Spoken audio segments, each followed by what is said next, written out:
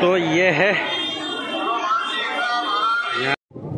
तो हेलो दोस्तों, कैसे हैं आप लोग? आशा करते हैं सब अच्छे होंगे, स्वस्थ होंगे, मस्त होंगे।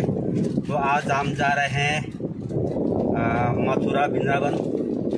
तो चलते हुए आपको दिखाएँगे पूरे रास्ता की जो नज़ारा है। तो आप लोग बने रहे मेरे ब्लॉग में।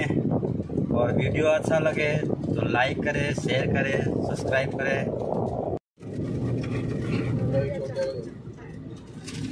तो ये जो रूट है, ये दिल्ली आगरा हाईवे है और यहाँ से मथुरा लगभग अपना 230 किलोमीटर है। 230 या 225 किलोमीटर। एक एक दो, पता नहीं है। तो आज की मौसम जो है, बड़ा सुहाना मौसम हो रहा है। एकदम ठंडा ठंडा सा। ना धूप, ना सर्दी, बिल्कुल सुहाना मौसम हो रहा है। तो हम पहुँच चुके हैं दोसा और ये है दिल्ली के लिए।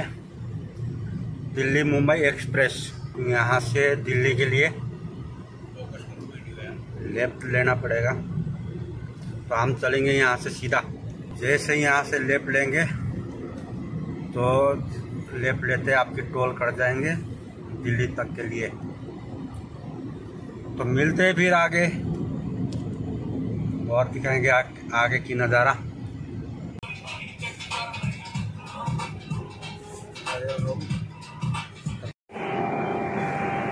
तो दोस्तों हम पहुँच चुके हैं खंडाला ढाबा।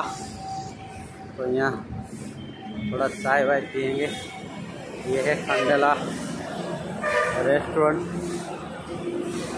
और ठीक ठाक है हिसाब मशहूर तो नहीं है लेकिन ठीक ठाक है खंडेला। रेस्टोरेंट। तो हम यहाँ रुके हैं थोड़ी देर चाय वाय के लिए।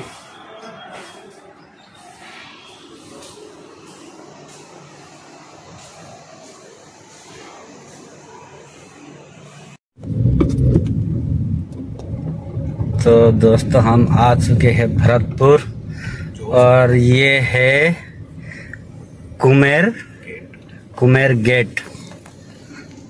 तो ये है लास्ट टोल कुमेर की तरफ़ से जा रही है।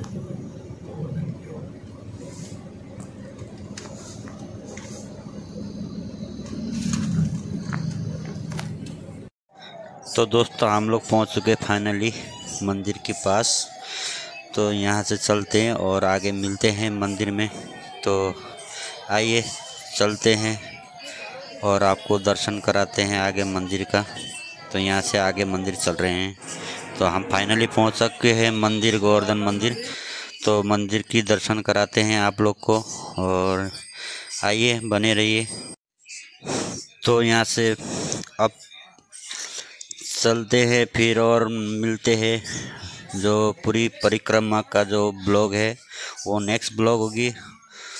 और ये जो ब्लॉग है, ये मंदिर की थी और आगे का जो ब्लॉग होगा, वो नेक्स्ट ब्लॉग में होगा, जो परिक्रमा लगाते हैं इक्कीस किलोमीटर की, उसमें मिलते हैं फिर नेक्स्ट ब्लॉग में ओके तब तक के लिए थैंक यू बाय बाय